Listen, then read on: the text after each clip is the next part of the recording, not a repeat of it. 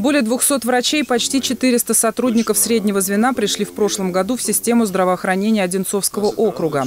На данный момент укомплектованность кадрами медучреждений составляет 88%. Задачи на этот год стоят у нас большие, не менее там, 70 э, врачей нам нужно э, привлечь на территорию нашего округа. И задача вполне выполнимая. Действующие в Подмосковье меры соцподдержки медиков привлекают квалифицированные кадры из других регионов страны. Более того, уровень зарплаты сопоставим со столичным, благодаря стимулирующим выплатам. Я работал в Крылатском 27 лет. Еще с нашей подстанции перешло в область за последний месяц 4 человека.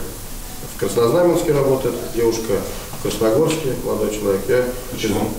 Э, Зарплата примерно становится да, близкая, с учетом вот этих стимулирующих выплат. Социальная ипотека – это мера поддержки, особенно востребована у медиков. В рамках этой программы специалисты получают от региона 50% от стоимости жилья в качестве первоначального взноса.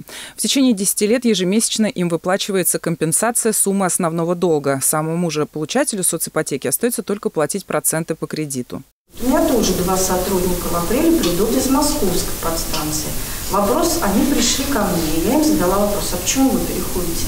А переходят, потому что там нет соципотеки. Сотрудничество с вузами тоже приносит свои плоды. За три года число квот на обучение увеличилось на 20%. Но и сами медики постоянно повышают свою квалификацию, получают новые специальности.